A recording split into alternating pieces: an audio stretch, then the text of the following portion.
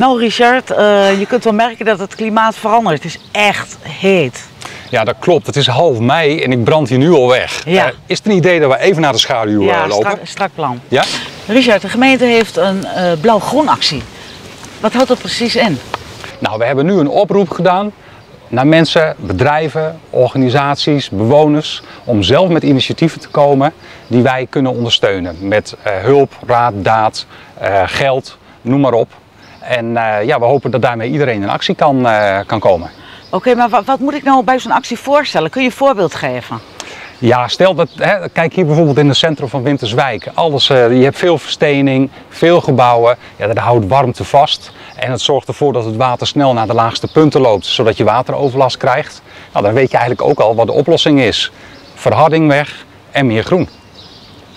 Maar ik heb begrepen, het is niet alleen voor het centrum. Het is voor bewoners, maar ook voor bedrijven. Eh, het buitengebied eh, doet mee.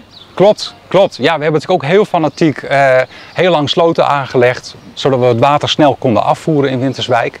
Maar juist in periodes van droogte merken we nu dat we eigenlijk te weinig water hebben. Dus wat we eigenlijk willen is veel vergroenen, zowel in de stad als buiten. En we willen veel water vasthouden, zodat het rustig de grond in kan, eh, kan lopen. Dus inderdaad landelijk gebied, maar ook stedelijk gebied. Maar als je kijkt naar het buitengebied, daar is toch genoeg water? Ja, dat zou je denken, maar eh, ik was vanochtend toevallig hier, eh, hier buiten in het Wold. En eh, nou, het stof vliegt je om de oren. Nee, zoveel water is er niet. En de afgelopen maand is er maar 1 mm water gevallen.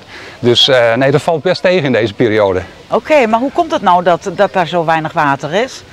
Nou, wat ik net zei is dat die watergangen heel fanatiek water afvoeren. En ja, we zitten hier hoog op een droge bult, met zandgrond vooral. En eh, als het water eenmaal weg is, ja, dan komt het niet terug die bult op. Ja, maar, maar wat, wat kun je daaraan doen aan het buitengebied? Eh, wat moet ik me daarbij voorstellen? Nou, kijk, de, de kunst is om elke druppel die valt zo lang mogelijk vast te houden. Dus probeer het vast te houden op je erf. Ga water afkoppelen, laat het niet de riool inlopen. Maar probeer het ook vast te houden bijvoorbeeld in de sloot. En hoe, hoe zou ik dat kunnen doen? Nou, we werken nu ook bijvoorbeeld samen met het waterschap eh, Rijn en IJssel. Die hebben een hele mooie actie, elke druppel de grond in. En dat betekent dat mensen dus duikers kunnen afsluiten of kleine boerenstuurtjes in een, eh, in een sloot kunnen zetten. En op het moment dat het dan gaat regenen en het water komt in die sloot, dan hou je het ook even vast en heeft het de tijd om rustig de grond in te zakken. We zijn op zoek naar initiatieven van mensen die net even verder gaan dan het, eigen, het individuele belang. Dus we nodigen mensen echt uit om als buurt iets op te gaan zetten.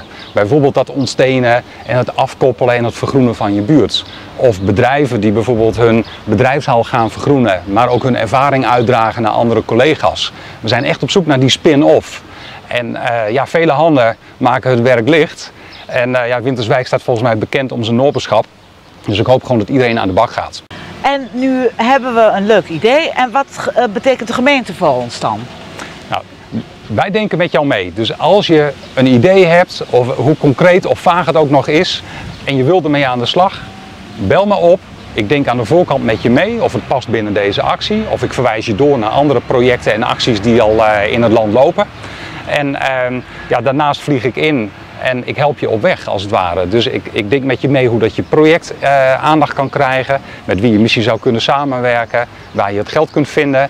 En in sommige gevallen zullen we dus ook vanuit ons eigen fonds eh, direct eh, geld aan de voorkant meegeven, zodat je gewoon aan de slag kunt. Waar moet ik aan denken? Wat zijn de financiële middelen die de gemeente beschikbaar stelt?